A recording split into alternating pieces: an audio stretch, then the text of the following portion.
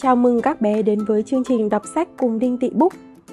Làm thế nào để giúp các bạn nhỏ biết quản lý cảm xúc và tâm trạng của mình đây? Chúng mình hãy cùng đọc các câu chuyện về bạn gà con Lon Ton, một bạn nhỏ cực kỳ đáng yêu và cũng có những lúc giận hờn, bướng bỉnh, cáu giận như các bạn nhỏ vậy. Hôm nay, chúng mình sẽ cùng đọc cuốn sách Gà con Lon Ton. Hừ hừ hừ, mình ghét bạn cuốn sách sẽ giúp trẻ sống chan hòa và yêu thương bạn bè.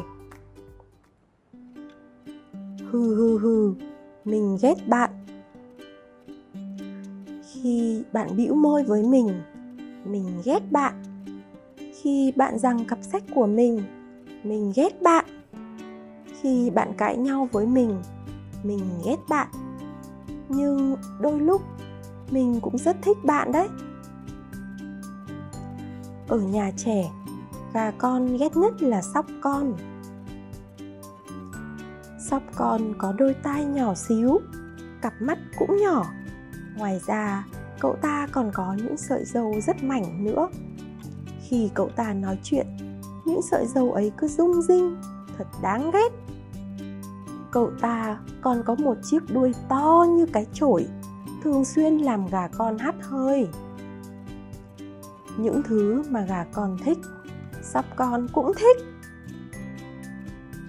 Để tớ chơi. Đưa cho tớ. Đưa cho tớ. Người bạn mà gà con thích sóc con cũng thích.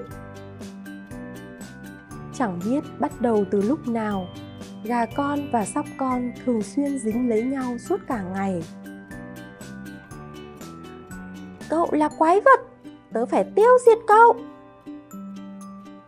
ngay cả trong giờ học, việc trêu chọc nhau cũng không dừng lại. Là ai gây sự trước? Cô giáo đã giận.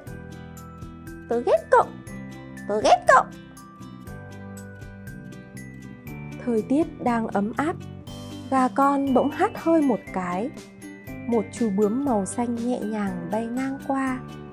Oa, bướm kia. Gà con và sóc con cùng đuổi theo chú bướm. Cô tớ, cô tớ. Chú bướm đậu xuống một bông hoa. Gà con và sóc con rón rén bước lại gần. Wow, đẹp quá. Trên cánh bướm còn có hoa văn nữa kìa. Một bàn tay to lớn đột nhiên chụp lấy chú bướm. Bướm bướm là của tao. Bọn tôi nhìn thấy chú bướm này trước mà, Nó không phải là của anh, Là của bọn tôi chứ. Chúng mày muốn ăn đòn hả? Anh cầm cánh bướm như thế này, Nó sẽ đau đấy. Thấy nắm đấm cách mình và gà con càng lúc càng gần, Sóc con xoay người lại dùng chiếc đuôi to lớn của mình quét liên tục xuống đất. Đáng ghét, mình không nhìn thấy gì nữa rồi. Gà con kéo sóc con chạy về hướng lớp học, vừa chạy vừa hô lớn. Cô ơi, cô ơi! Bé mập, con lại bắt nạt các em lớp dưới rồi. Hãy xin lỗi các em đi. Gà con và sóc con bò xoài ra bàn không ngừng thở dốc. Sóc con đắc ý nói, nếu không nhờ có tớ, cậu nhất định đã bị tên béo đó đánh cho một trận rồi. Gà con tỏ vẻ không phục.